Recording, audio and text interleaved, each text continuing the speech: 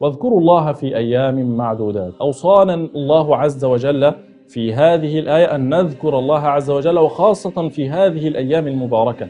في الأشهر هذه الحرم وفي العشر الأول من ذي الحجة وعلى عرفات وفي كل مكان نحافظ على ذكر الله عز وجل. فالله يقول واذكروا الله ذكرا كثيرا وسبحوه بكرة وأصيلا. يوصيك الله عز وجل أن تذكره في كل وقت وفي كل حين.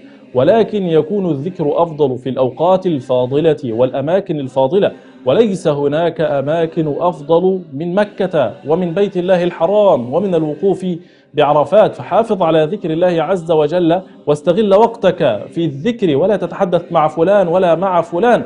فالذكر هذا من أفضل الأعمال التي تتقرب بها إلى الله عز وجل.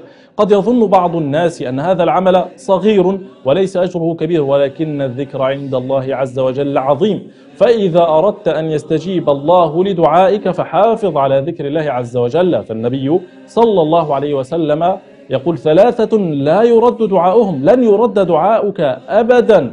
منهم الذاكر الله كثيرا. بل من أحب أن يظله الله عز وجل في ظل عرشه. يوم لا ظل إلا ظله عليه بذكر الله عز وجل. فالنبي صلى الله عليه وسلم أخبرنا فقال سبعة يظلهم الله في ظله يوم لا ظل إلا ظله. ورجل ذكر الله خاليا ففاضت عيناه. بل إنك إذا ذكرت الله عز وجل ذكرك الله. النبي صلى الله عليه وسلم أخبرنا عن ربه عز وجل أنه قال أنا عند ظن عبدي بي وأنا معه إذا ذكرني. فإذا ذكرني في نفسه ذكرته في نفسي. وإذا ذكرني في ملأ ذكرته في ملأ خير منهم. انظر يا رعاك الله. الله جل جلاله من فوق سبع سماوات يذكرك في نفسه وإذا ذكرته أمام أحد من الناس يذكرك الله عز وجل أمام الملائكة. بل يباهي الله بك الملائكة. فقد خرج النبي صلى الله عليه وسلم على بعض أصحابه فوجدهم جلوسا في المسجد. فقال ماذا تفعلون؟ قالوا جلسنا نذكر الله عز وجل ونحمده على ما من به علينا. فقال آه آلله ما أجلسكم إلا ذاك؟ قالوا والله ما أجلسنا إلا ذاك. قال وأما والله إني لم أستحلفكم تهمة لكم ولكن جبريل أتاني فأخبرني أن الله يباهي بكم الملائكة. يا الله نحن العباد العصاة المذنبون. إذا ذكرنا الله عز وجل يباهي الله بنا الملائكة نعم يباهي الله بك الملائكة إذا ذكرت الله عز وجل وحافظت على ذكر بل إن ذكر الله عز وجل قد يكون سببا في نجاتك. وانظر إلى هذا الرجل الذي ينشر له يوم القيامة تسعة وتسعون سجلا كل سجل مثل مد البصر.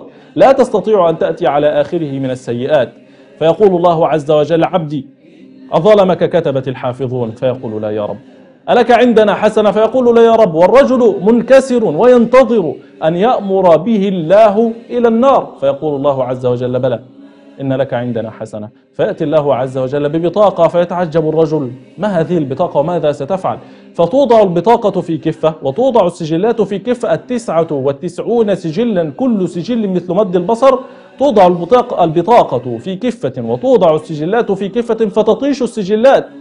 فماذا كتب في هذه البطاقة؟ كتب فيها أشهد أن لا إله إلا الله وأشهد أن محمدا عبده ورسوله.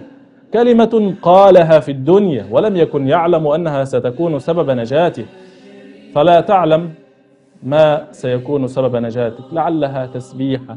سبحان الله. لعلها حوقالة لا حول ولا قوة إلا بالله. لعلها تهليلة فحافظ على ذكر الله عز وجل خاصة في هذه الأيام الفاضلة والأماكن الفاضلة.